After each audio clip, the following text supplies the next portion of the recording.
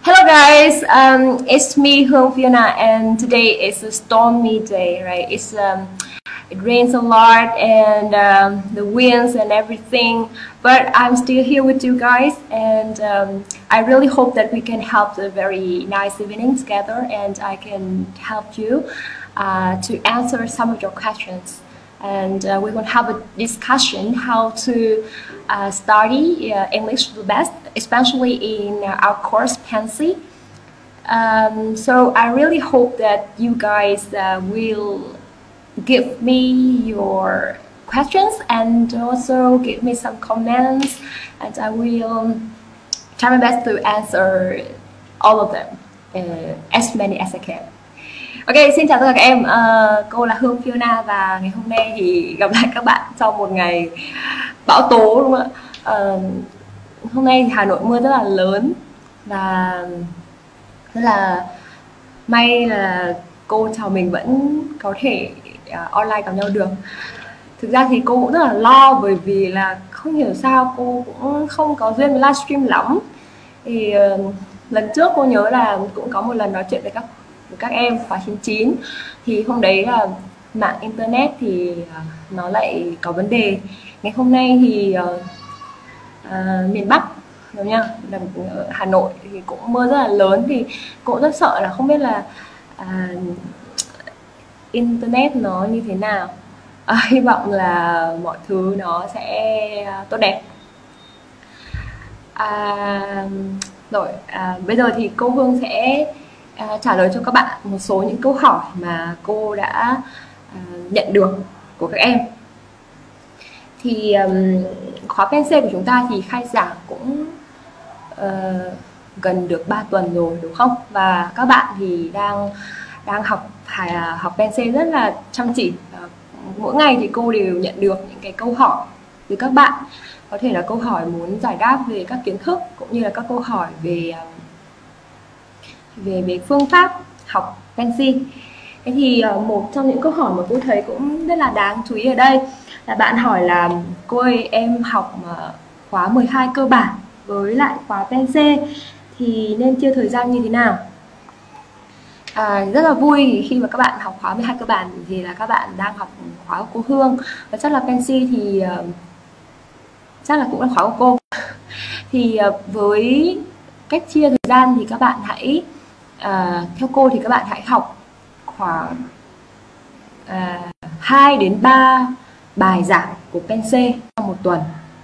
Và các bạn kết hợp cho cô một bài một unit của 12 cơ bản. Tức là các bạn sẽ phải học khoảng độ 6 video. Nha em nhé 6 video.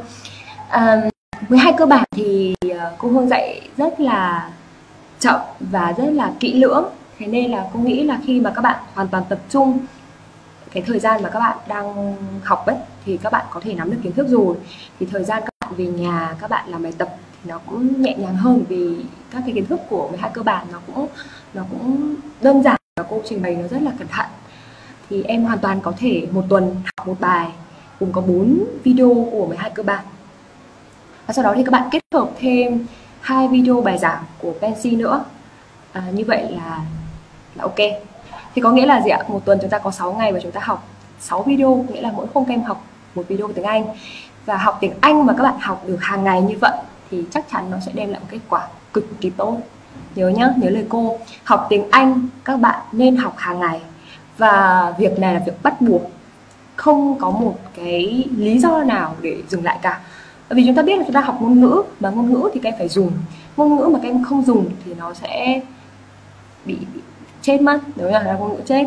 Thế nên là à, hy vọng là một tuần chúng ta sẽ đảm bảo cho cô là 6 video vừa học vừa làm bài tập.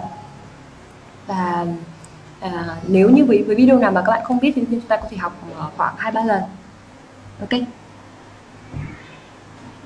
À, một bạn hỏi là một tuần học bao nhiêu bài giảng và làm bài tập như thế nào? Thì chắc là bạn ấy đang hỏi về khóa Pensi thì như cô vừa nói đấy thì là theo cô thì Pensi các bạn nên học một tuần khoảng độ 2 đến 3 bài giảng. Tất nhiên là nó phụ thuộc vào cái năng lực cũng như là vào cái quỹ thời gian của em mà em đang chia cho môn học tiếng Anh. À,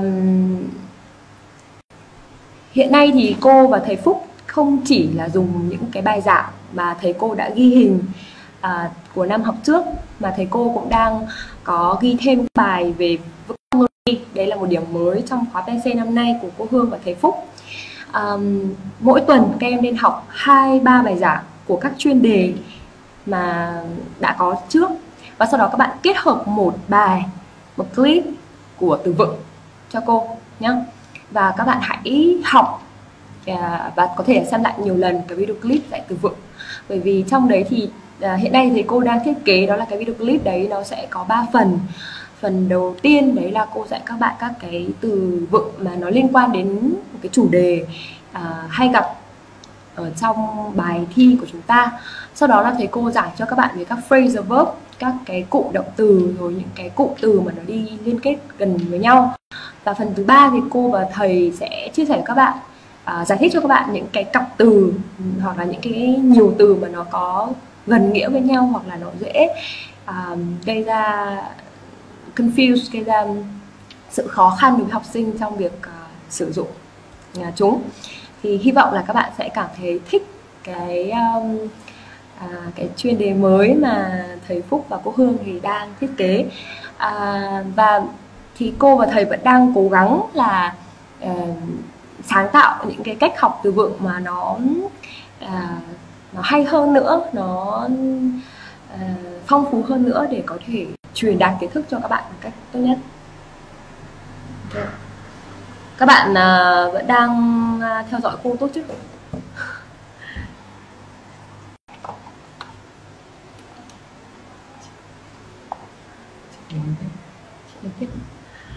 um, rồi một em hỏi cô là cô ơi làm thế nào để học ờ, bài nó nhanh và hiểu học bài nhanh và nhớ lâu. Ok à, đây chắc là một câu hỏi mà rất nhiều bạn sẽ quan tâm đúng không học tiếng anh như thế nào để cho nó tốt học tiếng anh như thế nào để nhớ lâu. Thì cái này nó phụ thuộc vào một vài yếu tố sau đây. Thứ nhất đấy là các bạn phải có một cái động lực rõ ràng về việc học tiếng anh. Em học tiếng anh để làm gì đúng không? Chắc là trước hết thì các bạn biết là tiếng anh là một môn học cô phải nói là rất quan trọng. Nó không chỉ là một môn mà các bạn sẽ bắt buộc thi trong kỳ thi trung học phổ thông quốc gia sắp tới của em.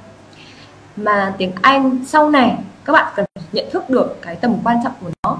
Đây là nó sẽ giúp cho các bạn uh, có được cái uh, nền tảng và có được cái cái, cái kỹ năng để các bạn ờ, có thể à, học trong trường đại học này. Rồi là sau này có được tiếng Anh tốt thì các bạn sẽ có thể ờ, có được những công việc tốt. Hoặc là có một số bạn chỉ biết là chỉ cần là em học tiếng Anh bởi vì em muốn ừ, có thể nói chuyện được với người nước ngoài. Hoặc là em có thể cảm thấy tự tin để em đi à, ra nước ngoài đúng nhỉ? Hoặc là các bạn sẽ nói là à, em muốn đi du học. Thì mỗi bạn ở đây sẽ có những cái động lực những cái động lực học tiếng Anh riêng. Thì cô mong muốn là các bạn là sẽ có những cái động lực rõ ràng như thế thì em sẽ sẽ quyết tâm học tiếng Anh hơn. Rồi bây giờ chúng ta nói đến động lực rồi đúng không ạ? Chúng ta có một động lực rõ ràng hoặc là các bạn uh, đặt mục tiêu cho mình đúng không ạ? Các bạn đặt mục tiêu là em phải đạt tiếng Anh 8 9 10 hoặc là bạn đặt mục tiêu cho mình là em sẽ đạt tiếng Anh 78 vân vân thì các bạn có cái động lực giáo dài như vậy thì chắc chắn nó sẽ thúc đẩy cái việc các bạn tự ý thức được việc là mình phải học tiếng Anh. À, thứ hai đấy là các bạn phải kiên trì học tiếng Anh bắt buộc chúng ta phải kiên trì. Um, nó không cần quá thông minh nhưng mà nó lại đòi hỏi chúng ta phải có sự bền bỉ sự quyết tâm và sự kỷ luật. Thì như lúc nãy cô có nói với các bạn đấy là khi mà bạn học thì các bạn cố gắng hãy dành thời gian học tiếng Anh hàng ngày. Nếu như chúng ta không có nhiều thời gian cho nó hãy dành một ngày tầm 25 đến 30 phút. Còn nhiều thời gian hơn thì các bạn hãy dành cho cô khoảng độ một tiếng hoặc là hai tiếng học tiếng Anh. Việc mà các bạn học hàng ngày như vậy thì nó sẽ củng cố cho các em rất là nhiều uh, về từ vựng về các chuyên đề hoặc là việc làm bài tập. Như là cô Hương uh, đến thời điểm này thì ngoài cái giờ dạy học và chuẩn bị bài tài, tài liệu để đi dạy cho các em á thì cô vẫn phải đặt thời gian là mỗi ngày ít nhất là học một tiếng cho môn tiếng Anh. À, có thể là ừ, nói rồi thì luyện nghe luyện đọc luyện viết. Bản thân cô vẫn phải học đúng không ạ? Cái việc học của chúng ta là việc học cả đời đúng không nào? Thế thì các bạn hãy học chăm chỉ cho cô. À, cái thứ ba nữa cô muốn nhắc đấy là trong quá trình mà các bạn học có thể là học online với cô Hương hoặc là các bạn học offline ở trên lớp trên trường. Thì tất nhiên là khi mà các em tập trung học thì chắc chắn là cái hiệu quả nó sẽ hơn rất là nhiều. Đặc biệt là cô dạy các bạn online đó là chúng ta à, khi mà đã học online có thể là với môn tiếng Anh hoặc với bất kỳ một môn nào các bạn tắt hết tất cả các cái ứng dụng khác ví dụ như là Facebook hay là Ask hay là một cái gì đó game các thứ các bạn có thể khiến các em sao nhãng. Hãy tập trung vì chỉ có sự tập trung lớn thì mới khiến các bạn hiểu bài nó nhanh và nhớ được lâu. Được chưa nào? Và tất nhiên là các bạn hãy chọn lựa những thầy cô giáo mà khiến các bạn yêu thích. À, bởi vì à, khi mà các bạn yêu thích thầy cô giáo đấy các bạn à, tin tưởng thầy cô giáo đấy thì các em học sẽ có hứng khởi hơn. À, và các bạn sẽ cảm thấy thích thú hơn. À, người đó là người sẽ có thể truyền cho các bạn niềm thích thú và động lực để các bạn học tiếng Anh. Và tất nhiên rồi văn ôn võ luyện đúng không nhỉ à, và môn anh văn cũng như vậy. Đó là các khi mà các bạn học thì chúng ta cũng phải um, ôn luyện hàng ngày à, làm bài tập đúng không? Học xong này thì làm bài tập đúng không? Um, để củng cố các cái kiến thức mà các em đã đã được thầy cô truyền cho. Và sau đấy thì các bạn à, à làm bài tập xong thì các bạn à, tra đáp án. À cô lại nói về cái vấn đề làm xong thì chúng ta như thế nào đúng không ạ? Tất nhiên rồi làm xong thì các bạn phải kiểm tra đáp án xem là mình đã làm đúng chưa à, nếu mà đúng rồi thì ok các bạn hiểu bài khá là tốt. Còn nếu như mà nó sai thì cũng đừng lo lắng bởi vì ai cũng sẽ mắc lỗi sai thôi. Nên cũng có cái điều nhắc như này. Các em xem lại cho cô xem là cái lỗi sai đấy là do các bạn chưa hiểu kiến thức mà thầy cô nói cho các bạn. Hay lỗi sai đấy là do các bạn làm ẩu. Thế nên là nếu làm ẩu thì các bạn sẽ phải uh, rút kinh nghiệm. Tức là ừ, chúng ta phải tập trung hơn chúng ta phải để ý hơn vân vân. Còn nếu như là cái kiến thức mà các em chưa nắm chắc thì có thể là em xem lại một lượt nữa. Đấy là cái lợi ích của học online. Học online thì khiến cho mình um, giúp giúp mình có thể xem lại được bài giảng khoảng mấy lần đúng không không và không bị hạn chế.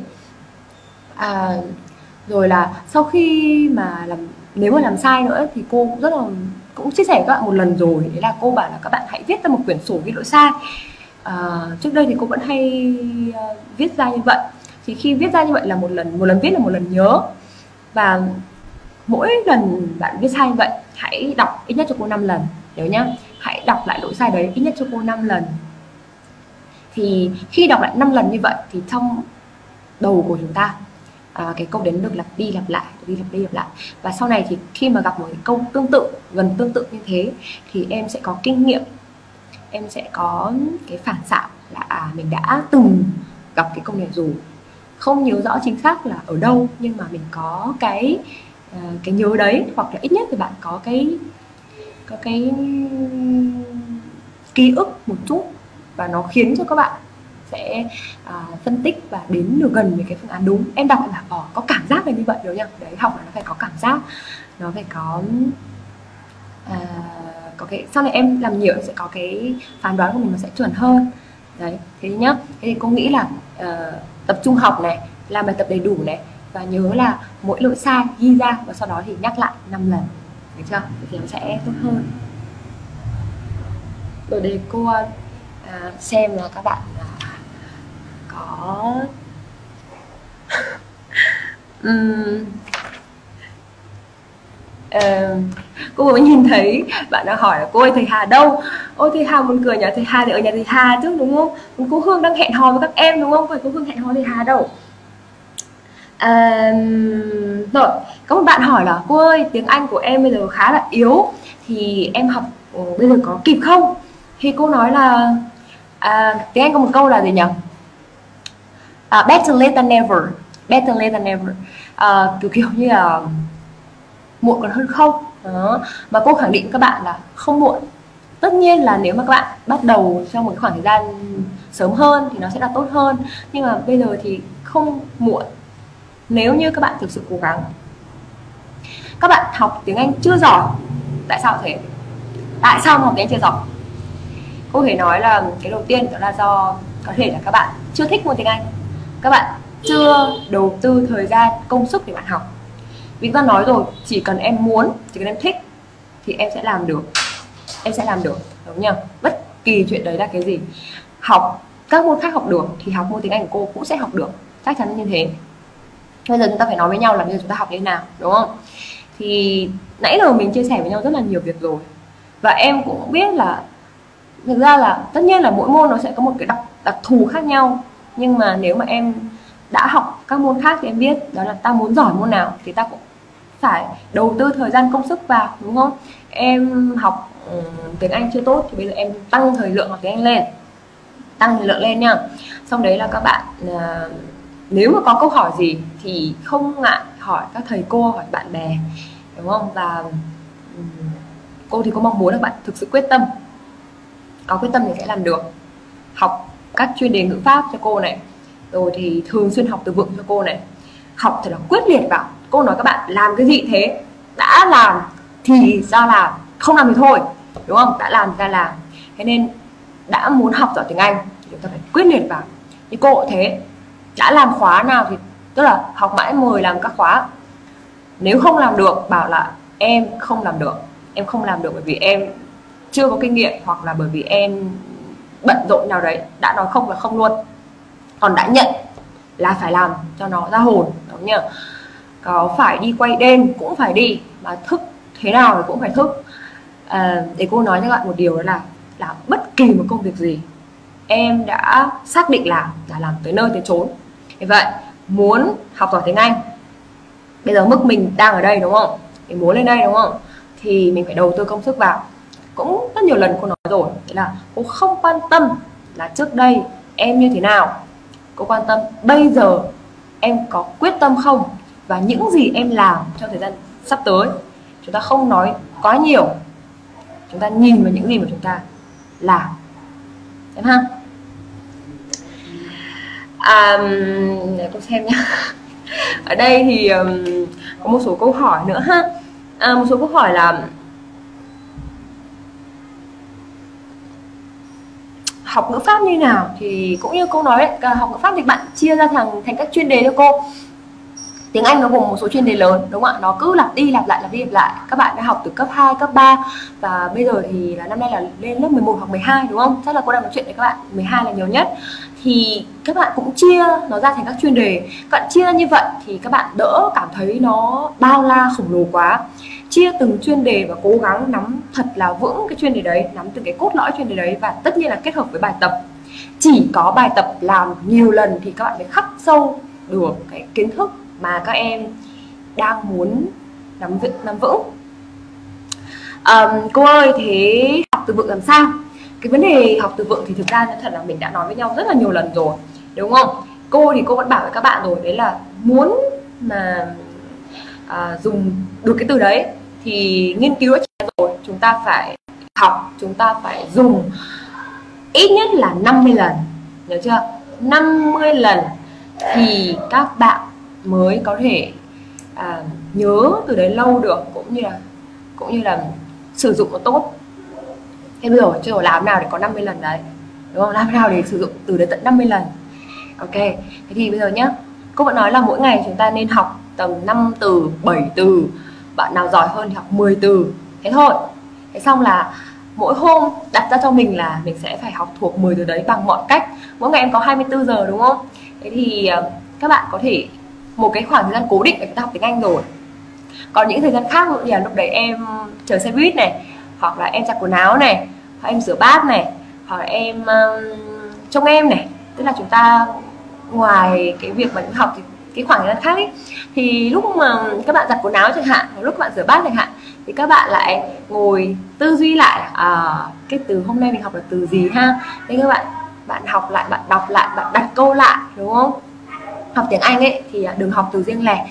Hãy học uh, theo cụm từ và hãy đặt câu với nó và cố gắng sử dụng nó ở trong cái cuộc sống của mình. Ví dụ hôm nay cô học được uh, mấy cái từ như từ uh, uh, chẳng hạn như cô học được từ uh, university đúng không nhỉ trường đại học ví dụ thế thôi. Thì cô mới nói là à trường đại học mà tôi mong muốn là trường gì đúng không? À, có thể là REU có thể là trường uh, Royal Economics University trường uh, hàng trường đại học kinh tế hoàng gia đúng không? Có thể là FTU uh, ờ, FTU ờ, đúng nhỉ? Foreign Trade University. Đại khái là thế. Sau thì các bạn ngồi các bạn tự kể là à tại sao tôi thích đến trường đấy? Trường đấy thì như thế nào? Vân vân vân đúng không nhỉ? Và nhớ này trước khi đi ngủ hoặc là buổi sáng lúc mà các bạn mới thức dậy sau khi làm vệ sinh cá nhân xong hãy mang những cái từ mà các bạn học được các bạn mang ra các bạn ôn lại một lần nữa. Thì nhá trước khi đi ngủ đúng không? Tức là các bạn làm hết mọi thứ rồi. Em cái cái việc xem lại từ mới cái việc cuối cùng thì các bạn sẽ đem theo những từ đấy vào trong đầu của mình. Đấy xong sáng ra thì các bạn đánh răng rửa mặt xong các bạn lại lôi cái từ ấy ra các bạn lại đọc thêm cùng một lần nữa. Trời ơi thì quá là nhớ luôn. À, thêm một cái mẹo nữa đó là cô vẫn bảo các bạn học sinh là các bạn học bài từ vựng của ngày hôm sau thì các em phải nhớ ôn lại từ của ngày hôm trước được chưa? À, ngày thứ hai thì phải xem lại ngày thứ nhất ngày thứ 10 thì phải xem lại ngày thứ 1 đến thứ 9 cái này thì à, cô vẫn làm. Và các biết không? Thế thì các bạn cứ xem đi xem lại xem đi xem lại như thế. Thì tất nhiên là những cái từ của ngày thứ nhất ấy thì nó được xem lại rất là nhiều lần. Em rất là nhớ đúng không? Em cứ xem xem đều đặn xem đều đặn. À, tất nhiên là cái việc này thì nó tốn thời gian và nó cũng cũng mệt đấy. Nhưng mà em biết rồi mình muốn một cái gì đấy thì mình phải à, bỏ công bỏ sức đúng không nhỉ và mình muốn một cái thành quả à, một cái thành quả to lớn thì mình sẽ phải à, vượt qua những cái khó khăn. À, người ta nói rồi no pain no gain. Có nghĩa là không có cố gắng nỗ lực không có mồ hôi nước mắt thì không có được thành tựu.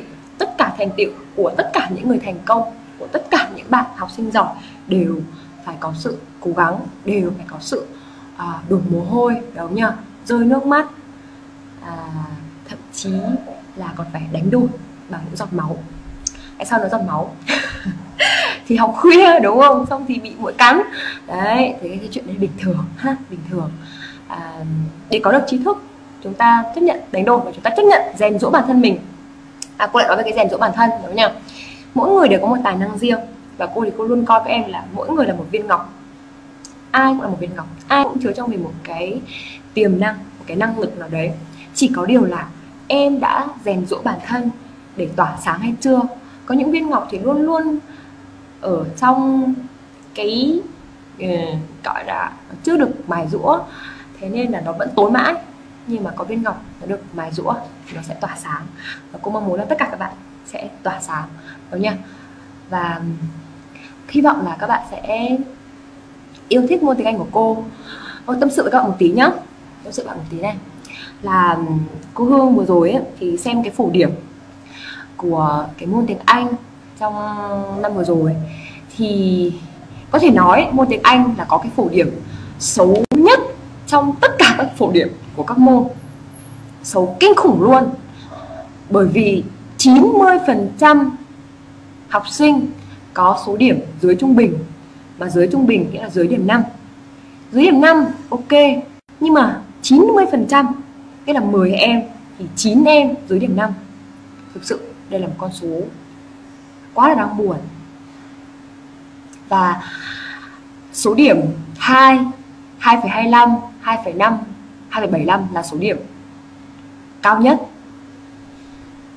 Đấy nó chỉ tầm dao động 2 3 4 rất là đáng buồn.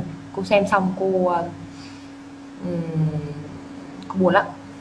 Và mới thấy là có một cái thực trạng là học sinh của mình học tiếng Anh quá là yếu. Và cái số điểm nó rơi vào tầm điểm đấy chứng minh điều gì em biết không? Đó là có thể là có khuynh hướng là rất nhiều bạn, rất nhiều bạn đã khoanh bừa một đáp án để chắc ăn tránh được điểm liền. Thế thì lại quay lại cái cái kiểu là tại sao em yếu bởi vì bởi vì các bạn có tâm thế là các bạn sẽ khoanh bừa, các bạn không chịu học mà tất nhiên rồi không chịu học làm sao có kiến thức đúng không? Cô đã từng viết rất là nhiều bài ghi chú uh, notes ở trên facebook của cô ấy là cô nói là tại sao mà các bạn lại như thế? Bởi vì uh, tại sao chúng ta lại không cố gắng để làm bằng sức của mình đạt được số điểm của mình thì nó sẽ cảm thấy rất là tự hào. Và um, tại sao lại để số phận của mình nó uh, nói chung là nó là nó rơi vào cái kiểu như là ăn may hoặc là làm bừa. Đấy thì các bạn có thể lên đọc lại cái ghi chú đấy. Thì ờ, cũng sau khi mà thi xong ấy thì cô nhận được rất là nhiều những cái ờ, báo điểm của các bạn có cái điểm rất là tốt. Các bạn thì không tốt lắm nhưng mà cô thì cô nói rồi cô thì cô chỉ mong là các bạn ừ, tất nhiên là cô mong các bạn điểm cao nhất à, và được môi trường mà các bạn mong muốn. Nhưng mà với cô thì cũng không phải chỉ nhìn vào điểm đâu mà cô nhìn vào cái sự cố gắng của các em. Thì đã có từng các bạn học sinh các bạn nói là à, con là học sinh thi khối A con cũng chỉ được năm bốn đến năm điểm thôi. À, nhưng mà đấy là bằng sức của con. Con uh, đã đọc ghi chú của cô và con có động lực để con học và con đã làm bằng chính sức của mình. Thì thực sự là khi mà đọc những cái dòng đấy thì cô cảm thấy um, rất rất là hạnh phúc và rất là tự hào à, đấy thì cô cũng mong là các bạn các em à, 99 đúng không? Các bạn còn cả một năm. Không bao giờ là quá muộn em ha. Còn một năm các bạn hoàn toàn có thể chinh phục các mức điểm mà các bạn muốn. Các bạn hoàn toàn có thể chiến thắng bản thân mình chiến thắng được cái um, gọi là cái giới hạn bản thân. Mình nghĩ mình làm được thì mình sẽ làm được. Tất nhiên là chúng ta chỉ không nghĩ không mà chúng ta sẽ hiện thực nó bằng các hành động bằng các chiến lược bằng sự giúp đỡ trợ giúp của thầy cô uh, qua các khóa học vân vân. Nhưng em nghĩ làm được em sẽ làm được. Còn nếu như em nghĩ không làm được và em không chịu cố gắng thì thực sự là không có cái gì có thể giúp em được cả. Nhớ nhá cô thì rất thích đọc sách và rất thích đọc chuyện à, à sách à, cô có thích đọc quyển à, nhà giả kim. Trong đấy có một câu là nếu bạn thực sự muốn điều gì thì cả vũ trụ sẽ hợp lại để giúp sức cho bạn. Và cô tin điều này là đúng. Cô đã từng ứng nghiệm nó vào trong bản thân mình thì có thể nó là đúng. Nhớ nhá khi bạn muốn điều gì thì cả vũ trụ sẽ hợp lại để giúp bạn. Thế nên em muốn học giỏi tiếng anh. Em sẽ cố gắng trước và sau đấy thì em sẽ có những cái sự trợ giúp của mọi người. Em ha. Um, có một bạn có một câu hỏi là hay mà cô thấy chắc là nhiều bạn học sinh học online với cô hoặc là với các cái môn khác cũng mắc phải. Bạn hỏi là cô ơi uh, học online á thì um, rất là buồn ngủ. Học online rất là buồn ngủ và khó tập trung. À, thế thì phải làm thế nào? Thì cô thật là đúng là học online á thì là các em đang tương tác với các thầy cô giáo qua một cái màn hình. Tức là chúng ta không được nhìn trực tiếp các thầy cô không được tương tác trực tiếp với các thầy cô. Các, các em nghe các thầy cô là chính. Thế nên nó mới có cái chuyện là buồn ngủ đúng không? Um, khó nhở theo cô thì khi mà các bạn chọn học một cái khóa nào đấy thì các bạn đã có một cái sự chọn lựa các thầy cô mà các bạn muốn học cô luôn khuyến khích học sinh học thử. Các bạn là hãy học thử các thầy cô. Xem là thầy cô nào là người mà các bạn cảm thấy à, các bạn học hiểu nhất. Thầy cô nào mà truyền cho các bạn được cái sự đam mê. Thầy cô nào mà khiến cho các bạn muốn có động lực học. Thế thì khi mà các bạn chọn lựa được một cái khóa học được những cái thầy cô mà các bạn cảm thấy yêu thích thì các em sẽ có động lực học hơn. Thứ hai nữa là uh, học á, online thì như cô nói lúc đầu tất nhiên là nó đòi hỏi các bạn phải có tính nghiêm túc. Cái này thì nó sẽ tính vào bản thân của mỗi người thôi. Mỗi người. Giống như chúng ta luôn luôn có những cái hạn chế chúng ta luôn luôn có những cái khó khăn và bây giờ bản thân mình cần phải vượt qua. Thế thì đầu tiên là cô nhắc là học online phải học tập trung tức là các bạn phải uh, phải phải bỏ đi những cái có thể gây các bạn sao nhãng. Ví dụ như là Facebook này hoặc là game này hoặc là chit chat thì đấy cô không biết. Đại khái là đã bật đã bật ừ, máy lên học là để học đúng không nào? Và những cái kia các bạn tắt hết cho cô tắt hết. Không có đang học xong lại nhảy vào xem cái nọ xem cái kia thì các bạn sẽ rất là dễ bị sao nhãng và các bạn học không có hiệu quả đúng không? Đấy thì cái đấy là làm tuyệt đối cẩn thận cho cô. Thứ hai nữa là uh, nếu mà muốn ngủ thì um, ví dụ các bạn học khoảng độ 15 20 phút sau khi thầy đã giảng hết một hai bài đó thì các bạn chạy xuống nhà các bạn lấy mấy cái viên đá lên sau bạn xoa mặt.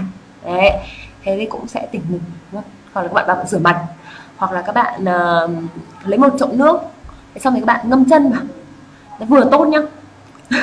Coi như kiểu massage đấy biết không? Chân của mình cái ngón chân của mình chứa rất nhiều cái dây thần kinh. Đấy các bạn ngâm chân vào.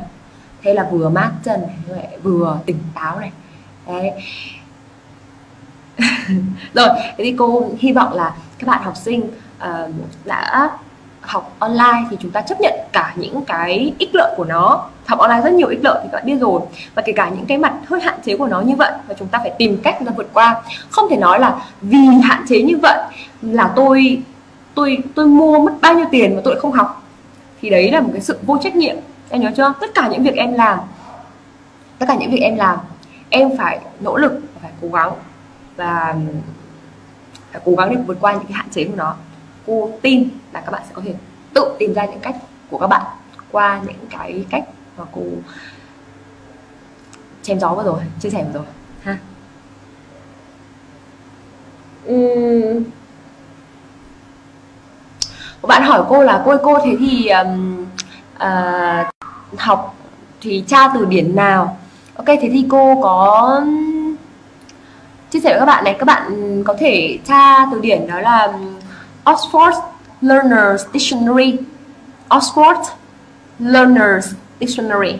Cái, cái từ điển đấy rất là hay bởi vì là nó là từ điển quốc tế thì nó sẽ có phiên âm rồi thì có có nghe em có thể nghe và nó có phần giải thích bằng tiếng Anh. Rồi có ví dụ rất là cẩn thận có rất là nhiều cách dùng.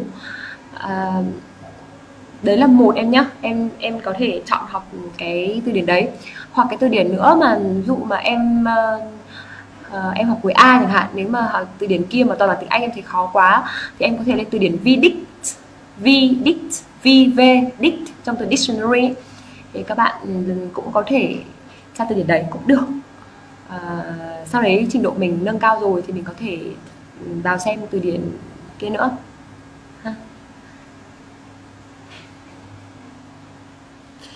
Um, xem nào có cái um, câu hỏi gì nữa không nhỉ ờ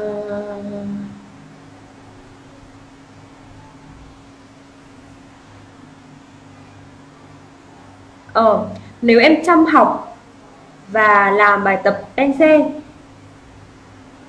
thì 6 7 điểm có khó lấy không ạ?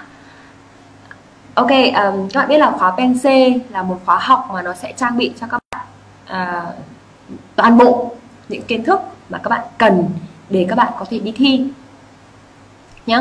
Khóa plan C là một khóa học nó trang bị cho các bạn kiến thức rất là nền tảng từ nền tảng nền tảng đến nâng cao như khóa của cô thầy Phúc thì thầy cô đang làm như vậy.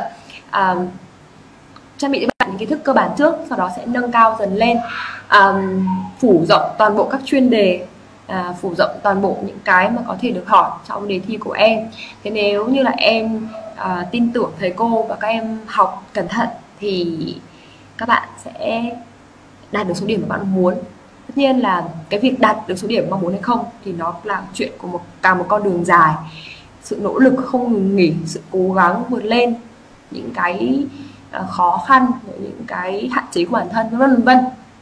Nhưng cô khẳng định nếu các bạn quyết tâm. Và các bạn uh, làm hết sức mình thì điểm 67 là điểm các bạn có thể đạt được. Và các bạn nhớ không? Mục tiêu khóa học của cô là gì? 8 9 10 rất nhiều anh chị năm vừa rồi uh, đã có những cái um, đã có những cái kết quả rất là tốt. Thì cô hy vọng là um, các em học khóa PNC của cô của thầy Phúc hoặc là của cô Nguyệt Ca à, hoặc là của các cái thầy cô giáo của môn khác bạn chăm chỉ học và các bạn sẽ có được cái kết quả à, cao nhất như các em mong ước nhé.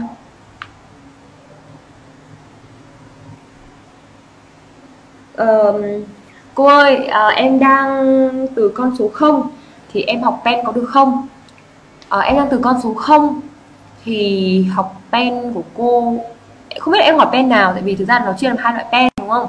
Pen của cô Nguyệt Ca là từ mục tiêu điểm là từ 6 đến 8 còn em của cô Hương là 8 9 10 thì em ừ, theo cô là nếu mà bạn có hai lựa chọn bạn có thể học khóa của cô người Ca nhá. À, đấy em em em học thử đi. Có nghĩa là khóa của cô người ca thì sẽ cung cấp cho bạn tất cả kiến thức rất là cơ bản và sau đó thì nâng cao dần dần. Hoặc là không thì các bạn cũng có thể là học khóa 12 cơ bản của cô Hương trước. Thì nó sẽ cho các bạn một cái nền tảng. Sau đấy thì các bạn học khóa pen của cô. Tại vì cô sợ là từ không thì sang của cô nó cũng có vẻ là nó cũng hơi khó. Tất nhiên thì khi mà cô giảng thì cô đều giảng từ từ cơ bản nhất cho đến nâng cao hơn. Thế thì cô cũng không thể nào biết được là bây giờ các bạn như thế nào và cái cái cái cái cái cái khả năng các em hấp thụ kiến thức nó ra làm sao. Thì lời khuyên của cô này, hãy học thử học mãi luôn luôn tạo điều kiện cho các em có thể chọn lựa những cái khóa học tốt nhất và phù hợp nhất với bản thân. Thế nên là em cứ vào uh, các cái vào trang học mãi và em xem thử các bài giảng của các thầy các cô. Và nếu như là em thấy phù hợp với phong cách giảng dạy của thầy cô nào thì em hãy chọn lựa khóa học nhé à, thầy cô nào thì cũng đều có những cái rất là hay và có những cái rất là tâm huyết để chia sẻ và để à, truyền đạt với các em à, một chút nữa thôi thì cô nói là có thể là ví dụ lúc đầu em cảm thấy nó sẽ hơi khó một chút thì tất nhiên rồi bạn sự thì nó bắt đầu thì nó sẽ à, khó khăn một tí đúng không nhỉ nhưng mà mình dần dần dần thì mình sẽ cảm thấy là mình có kiến thức vào thì nó sẽ tinh thần mình sẽ phấn chấn hơn và mình cũng sẽ có năng lượng hơn để mình học tập ừ. Ừ.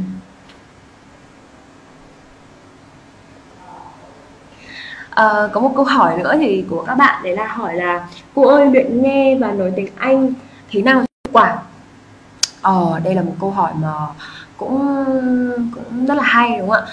Học tiếng Anh thì à, à, hiện nay thì ở nhà trường của chúng ta thì mới tập trung là dạy về ngữ pháp thôi à, và kỳ tại vì thế nào tại vì là kỳ thi của chúng ta thì hiện nay cũng mới chỉ là chủ yếu là về ngữ pháp tất nhiên là bây giờ đã có thêm từ vựng và có ngữ âm rồi thì bắt đầu có thêm viết à, nhưng mà nó chủ yếu thì vẫn là ngữ pháp thế nên là thầy cô của các bạn à, bình thường học thì vẫn vẫn vẫn vẫn là ngữ pháp nhiều đúng không và bạn ấy hỏi là thế luyện nghe à, rồi là luyện nói ha? Thì em biết là mình muốn giỏi bất kỳ một cái kỹ năng gì thì mình cũng đều cần phải luyện tập kỹ năng đấy. Em muốn nghe thì anh giỏi thì em phải nghe nhiều. Em muốn nói thì anh giỏi thì em phải nói nhiều thì trong cái khóa 12 cơ bản của cô Hương ấy bởi vì là cái khóa đấy thì uh, nó cũng nhẹ nhàng thế nên là cô dạy các bạn theo cả bốn kỹ năng luôn. Đấy là có các bài giảng mỗi unit đều có một bài giảng một, một bài nghe một bài nói. À, tập trung nghe cái trong trong phục vụ cho các bạn ở trong sách của bạn. À, còn đâu thì các em hoàn toàn có thể lên YouTube đúng nhỉ? Hoặc là uh, lên các trang mạng để các bạn nghe cô thì cô vẫn khuyến khích học sinh các em nghe những cái gì mà các em thực sự thích. Hãy nghe theo những cái gì mình thích. Một ví dụ nhá. Cô là giáo viên đúng không? Cô giáo viên đúng không? Thế thì cô rất thực sự cô rất là quan tâm đến các cái clip về giáo dục. Về giáo dục kể ờ, có thể là các cái clip của các thầy cô uh, nước ngoài họ dạy hoặc họ chia sẻ kiến thức thì cô rất thích nghe. Hoặc là cô thì rất là thích nghe về uh, các cái phần chia sẻ uh, các cái ý tưởng. Thì cô hay nghe trang TED cô, cô rất hay nghe cái đấy. Rồi thì là uh, cô nghe CNN Students News là cái mà thông tin của giới sinh viên. Đấy thì các bạn thấy là các em thích nghe cái gì thì các bạn nghe cái đấy thôi à, hoặc là các bạn có thể các bạn thích ừ, hoạt hình đúng không? Thì bạn có thể chọn những cái bộ phim hoạt hình mà các em yêu thích các bạn nghe. À, hoặc là các bạn thích những cái câu chuyện đúng không? Thì trên youtube của em ấy, thì nó cũng uh, có rất là nhiều các cái phần để luyện nghe. Cái này thì không ai có thể quyết định một ai được bởi vì nó là sở thích rồi và nó là năng lực rồi. À, em đang ở mức nào đúng không nhỉ? À, ví dụ như là cô nói nhé nếu các bạn chưa có kinh nghiệm nghe thì theo cô là các bạn cứ vừa nghe vừa nhìn tiếp script. Tiếp script là cái tiếp script là cái phần mà người ta viết ấy. các bạn cứ nên làm thế không sao đâu không sao. Các bạn cứ vừa nghe vừa nhìn tiếp script cũng được để cho các bạn quen đã. Các em quen đã các em có cảm giác là à đấy bắt đầu uh, tôi nghe tôi nhìn tôi nghe tôi hiểu. Đấy là các bạn thấy thích hơn rồi. Sau đấy thì nhưng mà cũng không phải phụ thuộc về nó quá. Các bạn ừ, xem như vậy khoảng độ ba bốn lần sau đấy các bạn thử tắt đi. Tức là thử thử không nhìn tiếp script nữa. Các bạn nghe lại các bạn nghe lại và các bạn thấy hiểu hơn thì đấy là điều cực kỳ tốt. À, với mỗi cái bài ấy, thì cô luôn luôn khuyến khích các bạn là các bạn hãy học thật là sâu. Tức là các bạn hãy um, các bạn hãy nghe nhiều lần nghe nhiều lần nghe khoảng 5 lần 10 lần không có làm sao cả. Chẳng có ai bắt chúng ta phải nghe một lần hiểu luôn cả đúng không? Không ai bắt việc của mình là mình làm thế nào để nó phù hợp với bản thân mình và mình cảm thấy nghe hiệu quả. Bạn nghe ba lần bạn thấy rất là hiểu rồi. Ok, bạn có thể move on. Tức là bạn nghe một cái bài khác. Em nghe chưa hiểu lắm. Em nghe cô 5 lần 10 lần. Ok. Ha? Nghe nhiều. Còn việc nói thì sao? Nói thì ở trong kể cả 12 cơ bản hoặc là pensi thì cô đều có bài học về ngữ âm. Là những cái bài mà sẽ trang bị cho các bạn kiến thức liên quan đến việc phát âm. Phát âm như thế nào cho nó chuẩn, cho nó chỉnh, đúng không? Thông thường thì cô học sinh toàn phát âm theo kiểu như các em dùng tiếng việt để nói tiếng anh. Ờ thế thì tiếng anh bạn không thể tốt được. Các bạn nghe nhá, tiếng anh mà cô đang nói tiếng việt thì nó sẽ khác. Rồi. Tiếng khi mà cô đang trò chuyện với các bạn nhé, cô đang dùng tiếng việt, đúng không? Cô dùng tiếng việt. Thế thì cô sẽ dùng ngôn ngữ tiếng việt cô nói. À, ok xin chào các em, cô là cô Hương, cô đang uh, phụ trách khóa PNC trên học mãi và cô rất là vui khi được đồng hành với các em trong khóa đấy. Thế là cô nói tiếng Việt nhá. Câu đầu tiên này, Hello guys, it's me Hương Fiona and I'm in charge of the PNC course and I'm great to be your teacher and I will go with you right to achieve the success. Các bạn thấy là rõ ràng là khi mà cô nói tiếng Anh là nó đã khác rồi đúng không? Tức khác về giọng điệu. Và cô nói tiếng Trung nhá. 你好，我是是清香。 我是很喜欢你啊啊！今天你们好吗？đấy thì cô cô chia sẻ với một chút đó là với mỗi một ngôn ngữ thì nó có giọng điệu riêng nó có cái sự phát âm riêng đúng không em muốn nói tiếng anh tốt thì em cũng phải dùng bộ phiên âm chuẩn của tiếng anh hoặc em phải phát âm chuẩn các cái âm của tiếng anh để để nói cho nó chuẩn và nó cần sự luyện tập rất là nhiều. Ví dụ nhá bạn hay nói um, từ cây đúng không? Là tree đúng không? Nhưng thực ra nó chuẩn nó là tree t r e tree. Đấy. thì thực ra là nói về cái việc phát âm này thì chúng ta phải có những cái khóa học và chúng ta phải có những cái buổi chia sẻ rất là sâu sắc. Nhưng mà ý của cô nói là muốn nói tiếng Anh thì tôi từ đầu các bạn phải luyện cho cô về luyện về cách phát âm.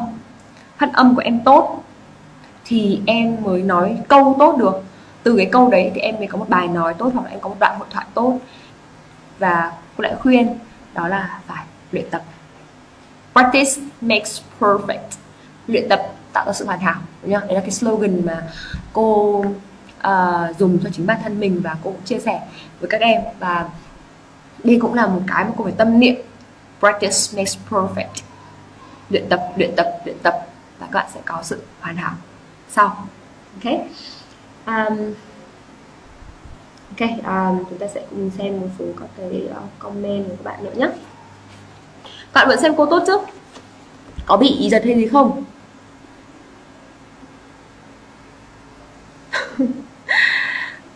Uhm... cô ơi khi em gặp người nước ngoài em chẳng nhớ được từ vựng trong đó đâu cô ạ. Em ơi biết vì sao không? Vì sao mà gặp người nước ngoài không nói được đâu? Bởi vì cái tâm lý của mình mình thấy choáng quá. Mình choáng quá mình không nói được. Thì cái đấy là hoàn toàn dễ hiểu bởi vì là em chưa có nhiều kinh nghiệm tiếp xúc với người nước ngoài. Và đây là kể kể cả những cái người mà đôi lúc nhá có những người nói tiếng anh tức là học tiếng anh tốt gặp người nước ngoài vẫn không nói được. Bởi vì cái đầu tiên là cái tâm lý em ạ. Tâm lý kiểu ngại ngại này sợ sợ này uh, và ít ít khi nói chuyện thì nhiên là nó cũng sẽ khiến cho um, cái việc giao tiếp của mình với người nước ngoài nó bị ảnh hưởng. Thế là đầu tiên phải nói với nhau này người nước ngoài chằm sao ờ chám sao cả đúng không? Uhm, họ cũng cũng chỉ là người bình thường như mình thôi. Mình ra nước ngoài thì mình lại là người nước ngoài đúng không? Thế nên là cái chuyện đó là bình thường. Um, cố gắng keep calm đó là bình tĩnh. Uh, sau đó là gì? Tất nhiên là khi mà các bạn uh, nói chuyện với người nước ngoài thì em đừng sợ nhé nếu mà em nghe hai người tây họ nói chuyện với nhau thì rất là khó để hiểu bởi vì là họ họ nói một tốc độ rất là nhanh họ sử dụng những cái từ ngữ rất là khó. Nhưng mà nếu mà họ nói chuyện với mình họ biết mình là một người mà tiếng anh không phải tiếng mẹ đẻ thì họ sẽ sử dụng những cái ngôn ngữ. Thứ nhất là họ nói cẩn thận họ nói rõ ràng họ nói chậm. Các bạn hoàn toàn có thể um, nghe được hiểu được. Và nếu như những lần đầu các bạn không hiểu thì Ừ, sao nhỉ những cái lần đầu á những cái ngày đầu mà cô hương tiếp xúc với người nước ngoài ấy, thì cô hương cũng nói đơn giản thôi. Cô hương nói những cái những cái gì mà nó nó đơn giản thôi. À, và người ta hiểu là à thì cái trình độ tiếng anh của mình nó cũng ở mức vừa vừa thì người ta sẽ sử dụng với mình như thế. À, để cô kể bạn nghe nhé ngày xưa khi mà cô học cấp 3 thì là trường cô có một chương trình giao lưu với trường ở bên Thụy Điển. Và sau đấy thì các bạn ở bên Thụy Điển à, viết thư trao đổi thư à, đấy là gọi bạn, bạn tâm giao qua thư đấy. Thì cô viết thư cho một bạn ở bên Thụy Điển. Và sau đó thì uh, sau một năm viết thư thì các bạn bọn cô trở thành những người bạn của nhau. Và sau đó thì các bạn ấy về Việt Nam. Thế thì cô đầu rất là sợ cô, cô sợ dã man bởi vì trời mình uh, mình viết thì ok nhưng mà mình nói thì không biết là mình nói người ta có hiểu không hoặc là người ta nói mình thì mình có hiểu không. À, nhưng may quá là tất nhiên là khi mà gặp nhau và trò chuyện với nhau ấy thì thì mình sẽ tự tìm cách để mình hiểu nhau em ạ. Lúc đấy thì cái đầu của bạn nó bắt buộc phải bán tiếng anh ra vì tiếng anh là cái duy nhất mà các bạn có thể uh, hiểu được người bên kia. À, đúng không? À, và sau cô cảm giác là cô chỉ bị bỡ ngỡ khoảng cùng lắm là hôm đầu tiên thôi. Còn hôm sau là bắn tàu bằng luôn. Bởi vì là biết là không dùng tiếng Anh thì không còn cách nào nữa. Thế nên là ví dụ thay vì mình nói những cái từ giả sử như là em trình độ vừa vừa đúng không? Em không nói được những cái từ mà kiểu cao siêu hoặc khó thì chúng ta sẽ nói một cách đơn giản đúng không nhỉ? Vì sao? Vì mục đích của việc giao tiếp là gì? Hai người hiểu nhau. Tôi không biết là bạn trình độ tiếng Anh như nào. Chỉ cần biết là um, bạn nói tôi hiểu hoặc là tôi nói bạn hiểu thì chúng ta hãy cố gắng sử dụng mọi cái khả năng của mình để giao tiếp. Và như cô nói đấy hãy bình tĩnh. Khi mà bình tĩnh thì em sẽ xử lý được mọi tình huống. Còn em cuốn lên một cái là à, cuốn lên một cái là khó lắm. Thế thì uh, hy vọng là sau này các bạn sẽ có nhiều cơ hội hơn nữa để các bạn nói tiếng Anh với người nước ngoài và à, và các em sẽ cảm thấy thoải mái hơn. Hoặc là không thì bạn cũng có thể luyện tập bằng cách là các bạn lên mạng đúng không? Các bạn nghe các chương trình của người nước ngoài và các bạn nghe thật là nhiều nghe nhiều cho cái tai nó quen. Ok cái tai của chúng ta phải quen thì chúng ta mới mới nói. Hoặc là như cô nhá. Ok bạn nghe. À, cô Hương thì cũng không phải là lúc nào gặp người nước ngoài đâu. Bởi vì là bạn mình có bạn mình có bạn mình có sang Việt Nam. Nhưng mà nó sang sang du lịch cũng chỉ tuần là nó đi về đúng không? Hoặc là cũng có một số bạn làm ở Việt Nam nhưng mà bạn làm ở thì công việc người ta cũng bận người ta làm gì có thời gian suốt ngày gặp mình thế nên là mình sẽ tạo ra một cái môi trường nói tiếng Anh bằng cách nào? Thì có thể các bạn tham gia các câu lạc bộ. Câu lạc bộ tiếng Anh rất là tốt. Đến đó các bạn trao đổi với nhau luyện tập với nhau nói tiếng Anh. Hoặc là các bạn có thể hình thành nhóm bạn đôi bạn ba bạn. Các bạn luyện tập nói tiếng Anh với nhau cũng rất là cực kỳ tốt. Hoặc là không có bạn nói chuyện thì sao? Tự mình nói. Cô Hương chả biết là có ai nhìn thấy cô Hương bị dở hơi không nhưng mà ngày xưa khi mà cô là sinh viên uh, cô cũng rất là muốn nói tiếng Anh tốt thế là cô sử dụng mọi lúc để cô luyện tập nói tiếng Anh. Khi mà cô một mình cô nói một mình cô ngồi cô nói một mình tiếng Anh. À, chuyện hôm nay thế nào? Đang nhớ ai? À, đang nghĩ gì? Đang quan tâm điều gì? Với vẩn vớ vẩn nói hết bằng tiếng Anh. Đang bức xúc điều gì? Nói hết bằng tiếng Anh. Hoặc là khi mà cô chờ xe buýt thì trước cô đi bằng xe buýt đi học mà. Thế thì lúc đấy mình phải chờ một khoảng thời gian mình chờ. Thì mình cũng uh, có thể tưởng tượng uh, mọi thứ xung quanh à, tưởng tượng trong đầu cũng được. Hoặc là nhìn những thứ xung quanh ờ, trời thế nào đất thế nào mọi người xung quanh thế nào à, hôm đấy mình có điều gì mình nói hết. Mình suy nghĩ bằng tiếng Anh. Tất nhiên mình không nói ra được vì là ừ, xung quanh thì là có mọi người đúng không? Nhưng bây giờ mình cứ lẩm bẩm lẩm bẩm thì người ta cũng thấy uh, hơi dở hơi. Thì các bạn hãy hãy nói trong đầu trước. Uh, thế bây giờ bạn đi ra đường thấy cô nào vừa đi vừa cười cười và nói tiếng Anh ấy thì có thể là cô Hương đấy. Nhá. Ok.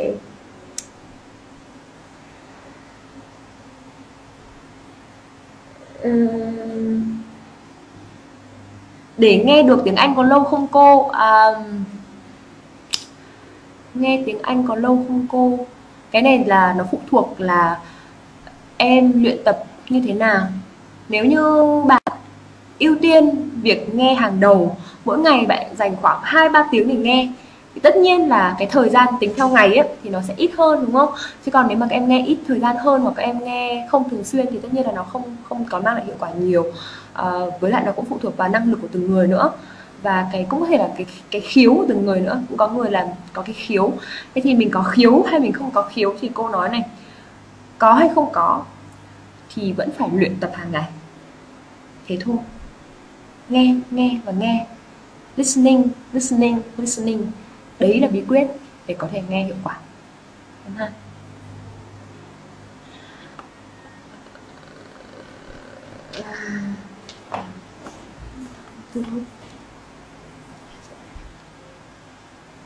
À, mất gốc à?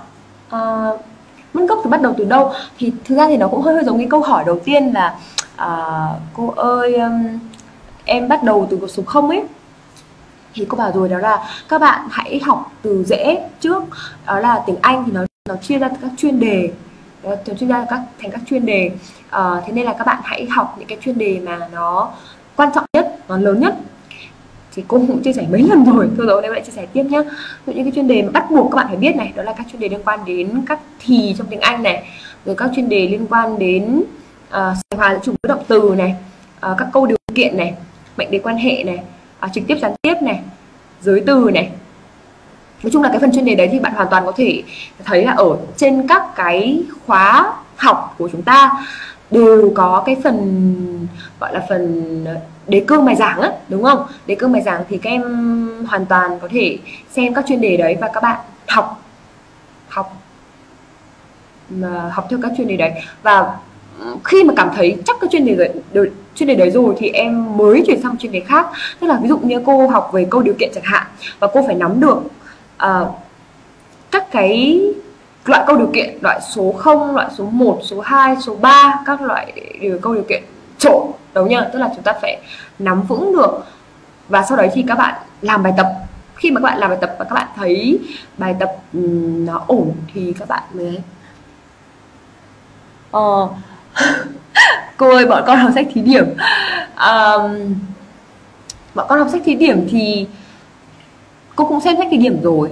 Cô thấy thì tất nhiên là nó cũng có nhiều điểm mới. Nó giúp cho các bạn phát triển một cách toàn diện hơn.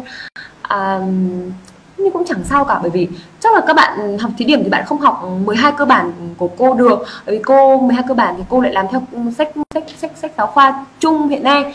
À, khi các bạn học theo của cô đấy thì thì nó không hợp. Thì các bạn học pensi đúng không? Tại vì thực ra nhá tiếng anh dạy thế nào hoặc là thi cái gì thì nó cũng chỉ xoay quanh những cái chuyên đề mà cô vừa nói với các bạn thôi. À, các con cứ chăm chỉ học cứ ừ, học uh, cẩn thận là là sẽ ok ha uh,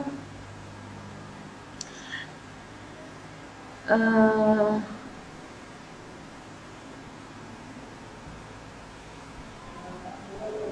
có một số câu hỏi liên quan đến thầy Hà thì thôi nhé.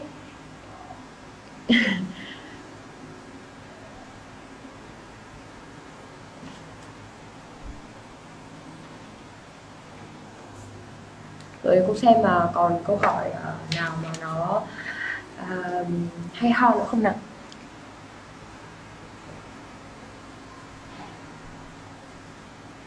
À, một số em hỏi là sách tham khảo thì thực ra là hiện nay cũng có rất là nhiều sách tham khảo. À, cô thì cô sẽ không nêu rõ một cái tên nào đâu. À, tuy nhiên thì cô có những cái gợi ý cho các bạn đấy là cô vẫn luôn luôn tin dùng sách của thầy Vịnh Bá.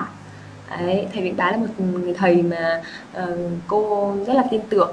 Uh, rồi là sách của nhà xuất bản giáo dục hoặc là nhà sách bản uh, sư phạm thì sẽ là những cuốn sách mà các bạn có uh, có thể tin tưởng. Tất tất nhiên là cũng có rất nhiều sách khác nữa. Thì em cô khuyên em như này đó là em hãy hãy đến hãy đọc.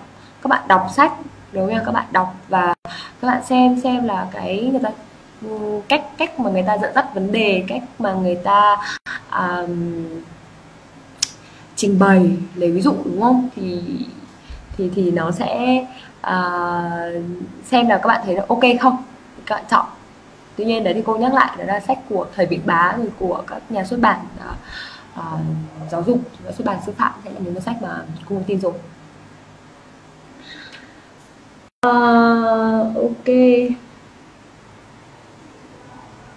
Rồi thế chốt lại nhá à, trước lại thì ngày hôm nay chúng ta trao đổi với nhau về những vấn đề đó là học như thế nào cho hiệu quả. Thì cô nhắc các bạn một điều đó là rất là nhiều các bạn đang ngồi học với cô ở đây.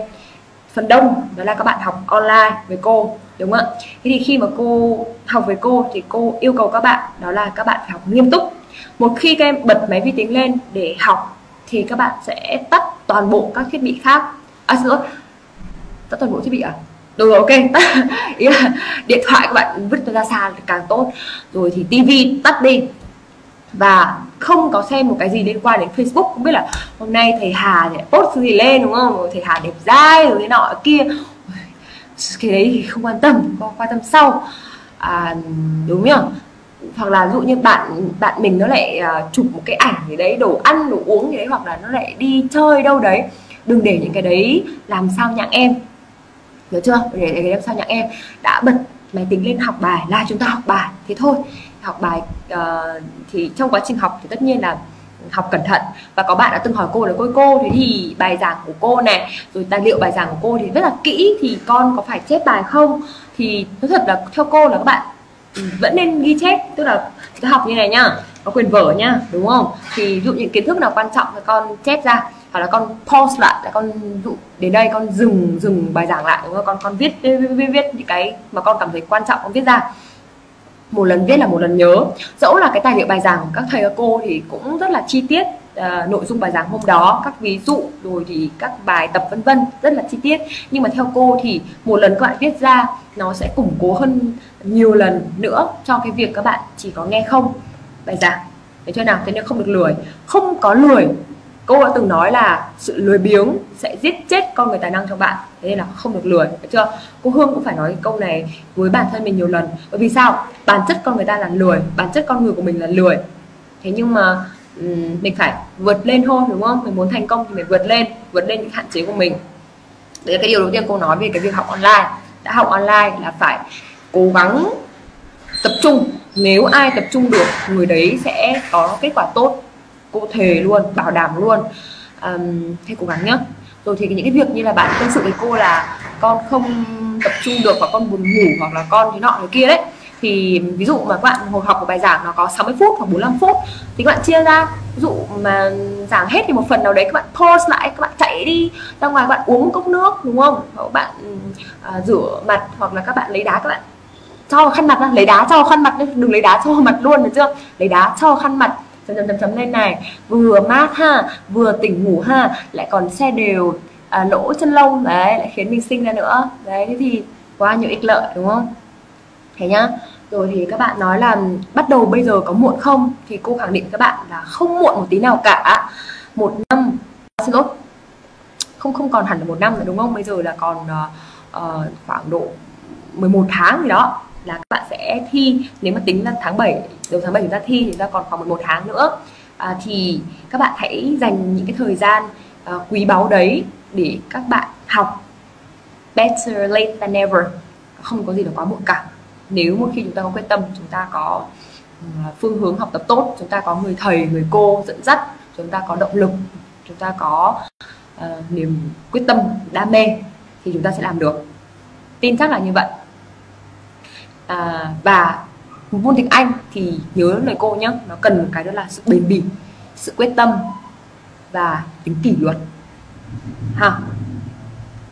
À, thêm một cái nữa là phân bổ thời gian học đúng không? Phân bổ thời gian học thì cô nói thật nhá rất nhiều bạn hỏi cô là cô cô bây giờ con học thế này thế này thế này thì con phân bổ ra làm sao? Nhưng mà thứ thật là cô cũng không thể nắm được đó là thời gian các con học ở trên trường như thế nào hoặc là các con dành cho các môn với cái sự uh, ưu tiên thứ hạng phải làm sao thì rất là khó để cô tư vấn. Thế thì bây giờ thay vì việc là con phụ thuộc vào cô một người chưa bao giờ gặp các con một người chưa hiểu rõ các con sao con không tự hỏi chính bản thân mình đúng không? Con mới là người mà hiểu con nhất con mới là người biết mình có bao nhiêu thời gian và hiện tại mình như thế nào đối với cái môn đấy. Hãy dành thời gian và hãy tư duy sắp xếp một cách hợp lý để có thể học được một cách tốt nhất. Hiểu chưa? Bởi vì người ta vẫn luôn nói này một khi mà các con dám chịu trách nhiệm với cái cuộc sống của mình con là người tự chủ tự quyết thì lúc đấy con sẽ thành công. Có thể lúc đầu con sắp xếp nó chưa được hợp lý con cảm thấy mình chưa hiệu quả con sẽ thay đổi.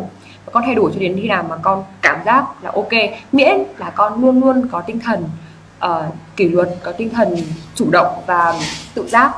Chứ con bây giờ Ừ, cô ơi, cô sắp xếp cho con đi. Nhưng mà cô đâu có biết là trên trường con bắt đi học những hôm nào. Cô đâu có biết là ừ, như thế nào. Nhưng mà cô có thể nói đó là hãy sắp xếp làm sao để tiếng Anh khoảng, học khoảng độ, nếu mà có ít thời gian thì học khoảng tầm 30 phút. Còn nếu nhiều thời gian hơn, cũng như thời gian này các bạn chưa đi học ở trường, đúng không? Thì nhiều thời gian hơn thì các bạn dành nhiều thời gian cho nó thêm. Với những cái bạn mà muốn đạt điểm cao ấy, thì một ngày phải tầm một hai tiếng ăn thua. Ba tiếng càng tốt. Ok? Um, thêm vấn đề gì nữa nhở? lúc nãy cho mình nói với nhau nhở? cái việc là luyện nghe luyện nói đúng không? Thì với mỗi một cái uh, kỹ năng kể cả các bạn muốn học giỏi ngữ pháp hay các bạn muốn học giỏi từ vựng cũng như thế thôi đó là các bạn phải practice practice practice. Muốn giỏi nghe gì? Listening listening listening. Nghe nhiều nghe nhiều nghe nhiều. Muốn nói giỏi gì? Speaking speaking speaking. Nói nhiều nói nhiều nói nhiều. Lúc đầu mình nói còn ngu mình nghe còn chưa tốt. Không làm sao cả ai cũng thế, bắt đầu ai cũng thế, cô hương cũng thế. Lúc đầu nói stupid cực stupid cực kỳ luôn. Nhưng mà sao? Mình luyện tập, đúng không? Mình luyện tập, mình tin mình có thể làm được. Cái trước, cô nói rất là chán. Xong rồi cô nghe thấy bạn lớp trưởng cô nói hay lý lo lý lo lý lo. Xong rồi cô thấy cô giáo bộ nói, lý lo lý lo. Thế là mình nghĩ trong đầu là à mình phải cố gắng lên. Một ngày nào đó mình sẽ nói giỏi được như bạn, mình sẽ nói giỏi được như cô. Thậm chí, mình có thể mình nói giỏi hơn. Phải tin là mình làm được, phải quyết liệt vào thì mới làm được được chưa? Thế thì ờ, ngày hôm nay uh, cô rất là cảm ơn tất cả các bạn đã uh, đã lắng nghe cái buổi chia sẻ của cô. Uh, không biết là uh, cái đường truyền nó có tốt không? Uh, các bạn nghe có bị uh, lag không? Uh, và uh, đấy thì uh, cô hy vọng là qua cái buổi nói chuyện này thì các bạn đã có thể định hình trong đầu mình uh, những cái um, cách để các bạn học uh, khóa PNC cũng như là cách mà các bạn sẽ học môn tiếng Anh. Giống như cũng định hình về cái kỳ thi sắp tới của chúng ta. À, cô luôn luôn hy vọng là ừ, các em sẽ dành tình cảm cho môn tiếng Anh à, cho môn học mà cô Hương rất là yêu mến à, hy vọng các bạn có được à, tình yêu niềm đam mê với môn học này. Thì khi mà các bạn học thì mọi thứ nó sẽ trở nên thoải mái nó sẽ trở nên dễ dàng. Và tin cô đi à, khi mà các bạn yêu môn tiếng Anh đó thì môn tiếng Anh nó cũng sẽ yêu lại các con. Và một lần nữa thì à, cô Hương xin cảm ơn tất cả các bạn đã chú ý theo dõi. À, nghe cô Hương nói từ nãy đến giờ đúng không? À, và ừ, cô cũng cảm nhận được rất là nhiều tình cảm của các bạn um, cô xin cảm ơn một